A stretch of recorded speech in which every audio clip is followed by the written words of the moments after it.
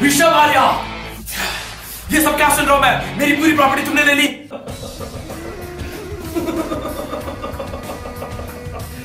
I knew that तुम यहाँ ज़रूर आओगे। और जब आए गए हो तो ये जान लो। तुम, तुम्हारी कोई गलती नहीं है। तुम्हारी बस एक ही गलती है। तुमने पेपर बिना पढ़े साइन कर दिए। और मेरी मंजिल तो ये थी, ये। अरे तुझ पे इतना भरोसा किया, इतना भरोसा किया, तूने वो सब भरोसे में पानी फेंक दिया। अरे हिम्मत होती तो सामने से वार करता ना। कुछ भी नहीं कर सकता, कुछ भी नहीं कर सकता। और अगली बार ऑफ़िस में आने से पहले ना अपॉइंटमेंट ज़रूर ले लेना। क्या? परफंक्टरली। परफंक्टरली का मतलब होता है लापरवाही से मतलब विदाउट केयर और इंटरेस्ट ये एडवर्ब है दोस्तों।